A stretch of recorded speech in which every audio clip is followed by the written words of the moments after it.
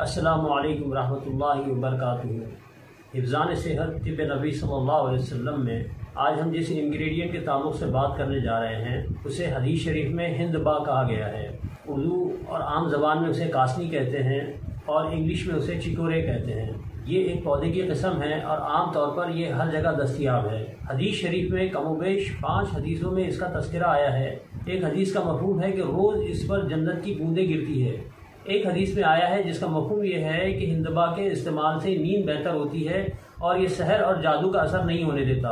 और इसके अंदर कंटेंट में कैल्शियम है, आयरन है, मैग्नीशिया है, फास्फोरस है, सोडियम है, पोटाशियम है, जिंक है, शुगर है डाइट्री फाइबर है, प्रोटीन है, vitamin A, vitamin C, vitamin E, vitamin B one, B two, B three, B five, B six जैसी बहुत सारी गजाई अज्जा मौजूद है। इसकी ताज़ी पत्तियों का भी इस्तेमाल किया जाता है और सुखाकर सूखी पत्तियों का भी इस्तेमाल किया जाता है। और आज के मॉडर्न दौर में इसकी कॉफ़ी बहुत मशहूर है जिसे चिकोरे कहते हैं। ये फ्लेवर के एतबार से भी बहुत अच्छी है और इसका कहावा भी बनाकर पिया जाता है। और बहुत सारी दवाओं में इसका इस्तेमाल होता है। और इसके बीज जिसे हम तुख्म कासनी कहते हैं इसका अर्थ निकालकर जिसे हम अर्थ कासनी कहते हैं, उसका भी इस्तेमाल किया जाता है। इसके साइंटिफिक बेनिफिट्स में ये है कि हर किस्म के दर्द को खत्म करता है, ये बुखार को खत्म करता है ये डायरिया में बहुत बेहतरीन है, ये जहन को सुकून देता है, ये हाजमे के लिए बहुत अच्छा है, ये कब्ज नहीं होने देता, ये किडनी स्टोन के लिए बहुत अच्छा है, ये खून को साफ़ करता है, जिगर की गर्मी को खत्म करता है, ज्वाइंट पेन के लिए बेहतर है,